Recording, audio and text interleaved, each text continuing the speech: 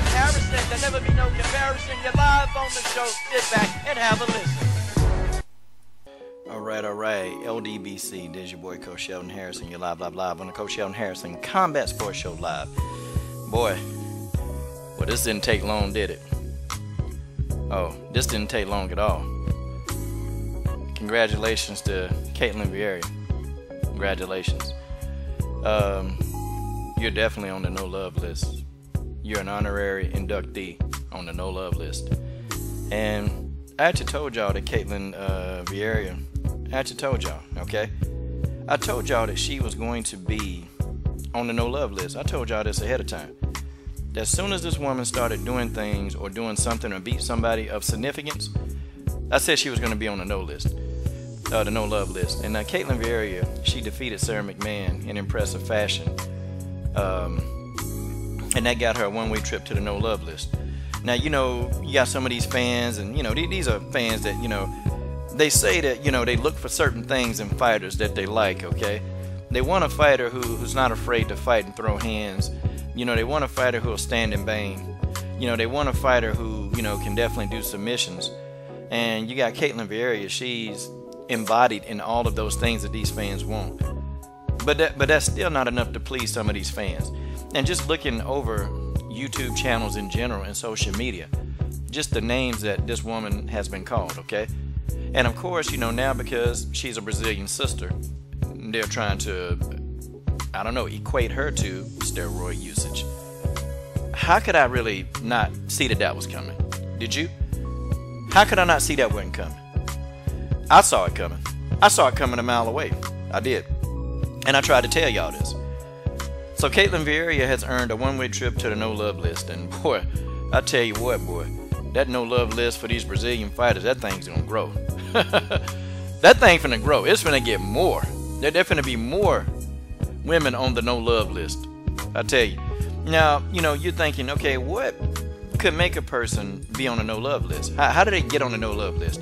See, the no love list, you can get on the no love list because of fan dislike or, you know, you can be hated on by the company you work for, called the UFC. Oh, yeah. And I knew she was going to get on the no love list. And I figured that if she beat anybody of significance, I knew she was going right on that list. So I could almost say that making the Coach Sheldon Harrison no love list should be an honor because if people hate you that much and if these fans already don't like you, well, you know what that means, right? That means that by their own admission, by their own admission, they're pretty much saying, you know what? I don't like this Brazilian. You know, I don't like this manly looking Brazilian. That's what they're saying too. A lot of, I don't like this manly looking Brazilian. And guess what? You know what? Uh, this this Brazilian might go beat my favorite fighter's PG-13 channel. That's what they're saying. So when a fighter is on the no love list for Coach Sheldon Harrison, when that fighter gets to that level, that means that they've made it. That means that they've made it and they're making a wrinkle in the sport. That's what that means, y'all.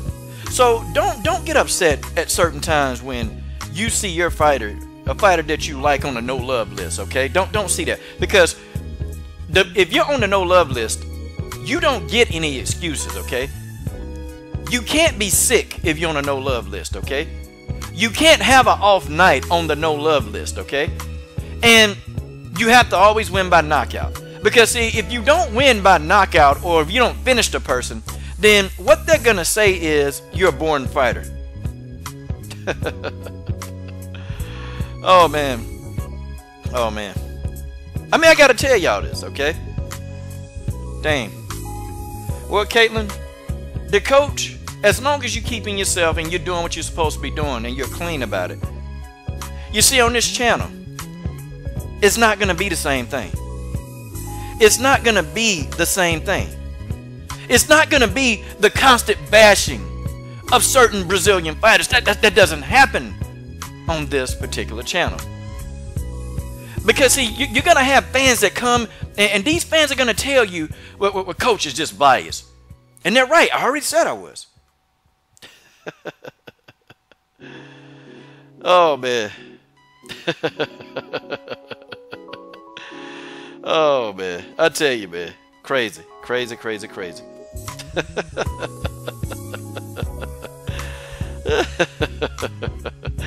Yeah, that, that's what it is, okay? But I keep telling everybody, I keep telling everybody that this no love list is gonna grow. It's just, you know what? I'm coming out with the Coach Sheldon Harrison No Love List Volume 2. Oh man. And look, you're gonna want to see who's on the Volume 2 No Love List. If you thought Volume 1, oh, if you love Volume 1, then Volume 2. Because these fighters are damned if you do, and they're damned if they don't.